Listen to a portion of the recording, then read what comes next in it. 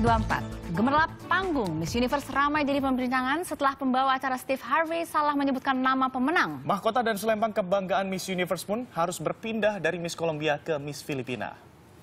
Miss Universe 2015 is Colombia.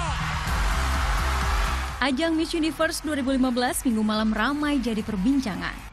Pembawa acara Steve Harvey dengan lantang menyebutkan Miss Colombia keluar sebagai pemenang Miss Universe 2015.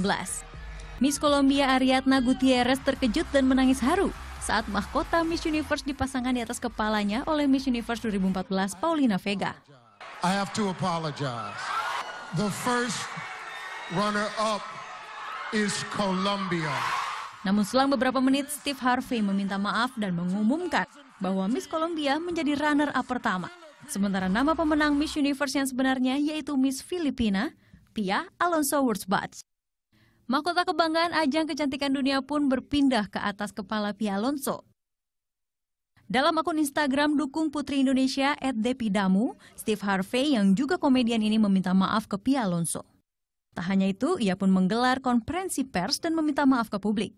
Ia mengakui kesalahannya yang tak fokus saat membaca nama pemenang.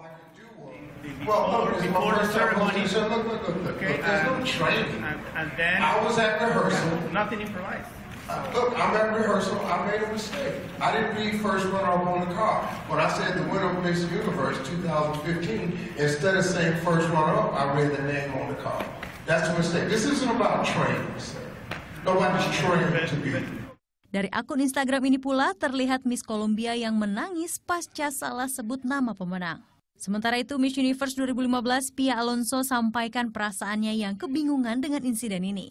I was waiting for cues from the floor director, and then all, I looked back, and then the girls behind me were saying, um, "Go, go, go in front," like that. So that's when I walked to the front of the stage, and I was just waiting for um, my crowning moment, basically. So I, uh, I was very confused, and I do apologize for what happened.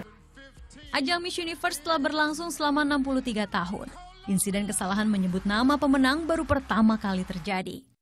Tahun ini sebanyak 80 negara berpartisipasi.